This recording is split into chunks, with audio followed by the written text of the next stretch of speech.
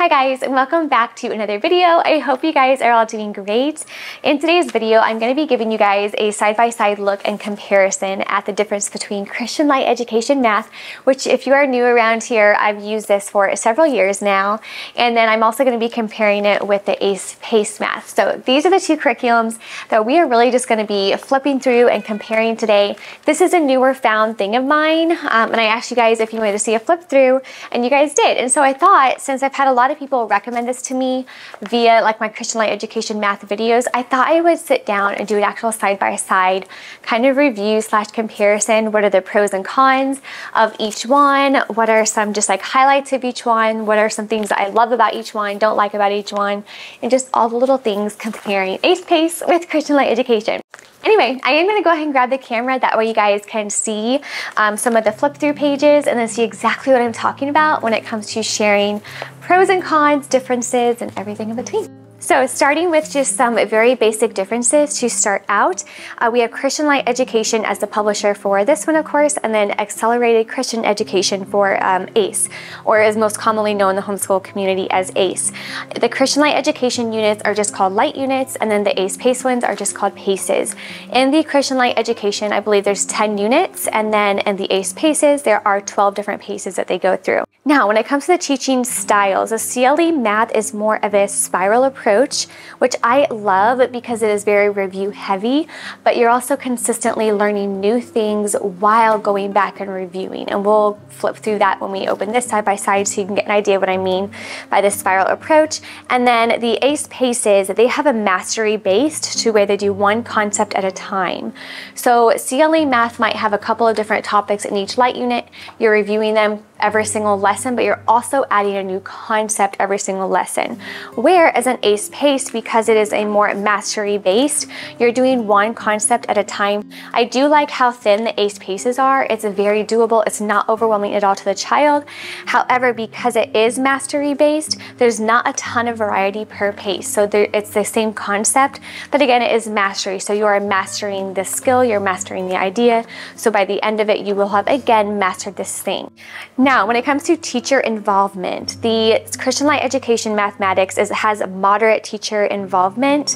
They do have answer keys provided separately, of course, and then the ACE PACE, because this is a more mastery based, it's an open and go thing, the teacher involvement is very, very low. So everything you really need, and I would say you probably, I wouldn't really think that teacher guide is 100% necessity for ACE PACE, at least in my personal experience doing the first few so far, um, unless you just want it as a quick reference guide for checking the work. Whereas in Christian Light Education, because they do add in a few extra things to the teacher guide, I would definitely recommend picking up the teacher guide for the CLE one. So when it comes to the biblical integration to both, because they're both faith-based, the Christian Light Education has the Christian principles kind of interwoven throughout it. So a lot of it is character focused, um, whereas in the ACE PACE, a lot of the focus is going to be scripture memory. So you're going to be learning the Bible verses and memorizing a Bible verse per pace, which I love. So you're going to have scripture memory in one. Um, this also has some scripture in it, but most of it is um, character development, is from the differences so far I've been able to tell. Um, again, grade level focus, concept mastery with constant review is math, as we already kind of talked about. And then with ACE PACE, you have the step-by-step -step mastery of one topic per pace, which again, we had already talked about. Well, depending on the style of your family and the learning style of your child, some people might get bored with doing the same thing over and over again, but then some children might thrive because they need that extra attention. And if you're in the Christian Light education and there's too many um, new topics being learned, you don't have enough time to master something, then you can kind of see the pros and the cons based on what your family is kind of wanting or looking for. As far as cost goes, this is more of a mid-range. I want to say it's in the 50s now for just the student light units, and then it's an additional money on top of that for the teacher guide. Whereas an ACE PACE, I want to say it's 34 for all 12 PACEs. So it's very, very affordable. Um, one of the most affordable uh, like formal math curriculums that I've seen when it comes to the assessments within the curriculum. So within Christian Light Education, you have regular quizzes and tests. And I've shared before on my channel that we don't do all of the quizzes and tests because there's so much practice and review in here. Um, but that is depending on your state. We live in a state that doesn't require it, so we don't necessarily do all that. Um, and because I'm right there with them, I can I already kind of know what they're mastering and what they need help with and things like that. Anyway, the assessments for the ACE PACE, these are self-tests and checkups in PACE. So you're gonna get two little pages here where you're gonna check up to see if you need to add anything um, and to check your work and things like that. So definitely unique in how each method is taught. Um, but again, it comes down to your family style and how your child likes to learn. So I'm gonna go ahead and do a breakdown or a content breakdown of each one, giving you guys some of my personal pros and cons. And as a disclaimer, these are subjective. So what might be some of my pros and cons might be reverse for you, and that's totally fine because I know every family is so different. Uh, but some of the pros that I would consider um, in Christian light education, it is a spiral learning, which we've talked about already several times, but it ensures consistent review, preventing knowledge gaps. Because there is consistent review, I found that at the end of a light, you know, or even at the end of a curriculum or the school year, they've kind of automatically mastered concepts because there is so much review. So for example, you have the clocks and like practicing telling time. You also have fractions and then the start of the next lesson, you also have fractions and you still have addition and you go all the way through here and you still have clocks. So you're really reviewing every single day while adding in a new concept every single day. So the spiral approach is something that I would recommend if your little ones kind of get tired of doing the same thing um, because every day is going to be a little bit different even though there's a lot for each day. It's going to vary at least a little bit. So for the Christian Light education, it does have a focus on mental math and real world problem solving, which I also love because it uses the story problems. It also does use a lot of different mental math um, problems for problem solving.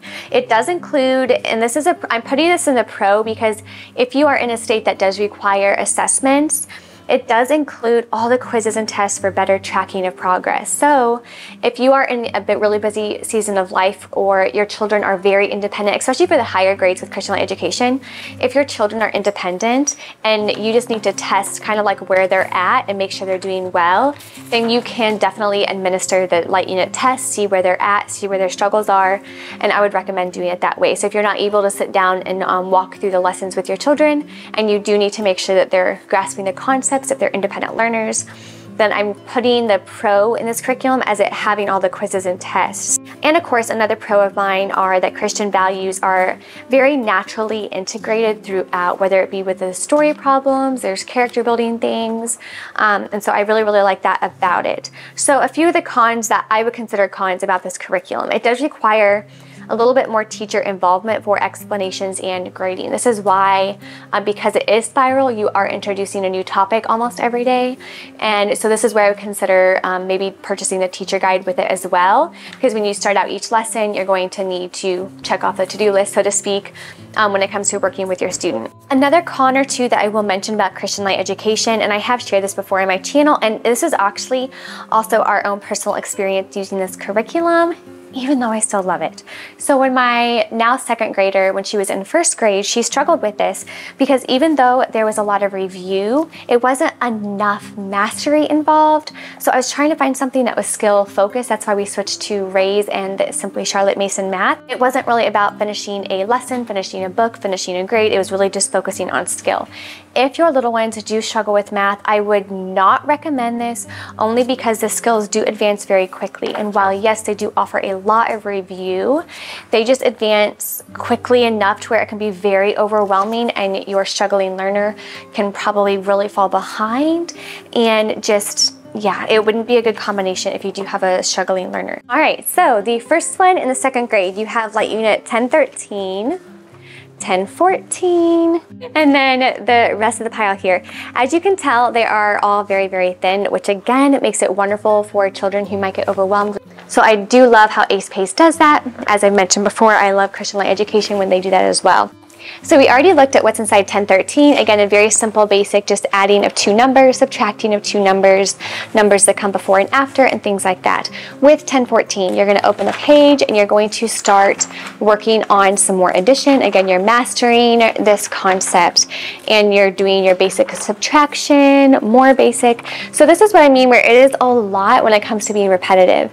Then you start mastering when you add three numbers. So you're going to start working on that. You're going to add three numbers together for, I think, most of the rest of this book when it comes to that. And then we're, we're of course, kind of crossing things out as we go. Um, and then we're, with here, we're going to start doing double digits with adding those. So that concept will be added as well. So you're mastering, again, adding of those two digits for for 1014.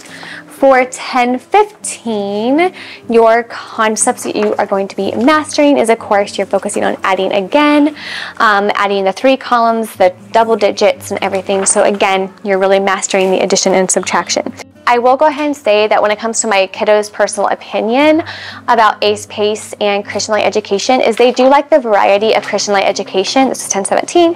However, they really also like the um, the colorful pages that this book provides. So this is the next book here that we'll kind of flip through.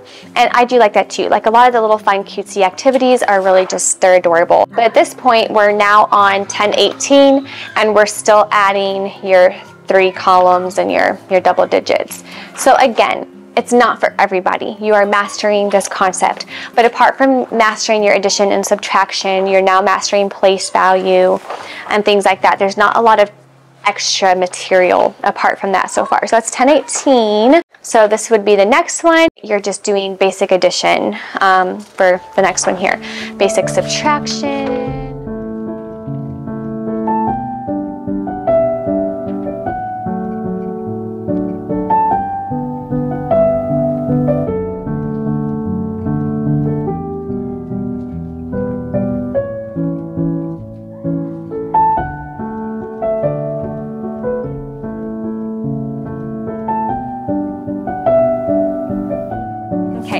So you have 1020. So 1020 is again your um, addition, subtraction, story problems, not much different. You have 1021, um, you a lot of story problems, a lot of subtraction. You start to write like, you know, first, second, third, fourth, and fifth, um, things like that. So that's great too.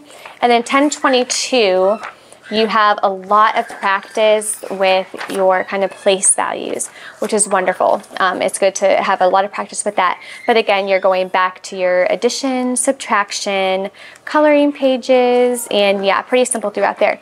Okay, so I wanted to do 1023, put them in order, and 1024 separately because for all of these units here, there was not a ton of concepts. You did get introduced to you know, the three columns, a hundreds column, place value, but you're really mastering your addition and subtraction with all of these.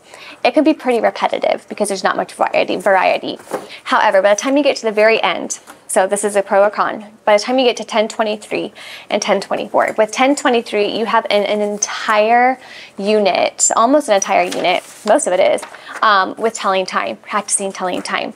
The reason why I'm sharing these two separately is if your child is doing another math curriculum and they just need some extra practice with like learning how to tell time on a clock, you can buy these individually just like Christian Light Education and they're only like $3. So if you're looking for a very specific workbook that is is one of the most affordable things out there and you want some practice that's open and go that your child can do by themselves, 100% recommend these last two units to get by themselves if you need help mastering this because again, it's mastery, which is a pro for this one.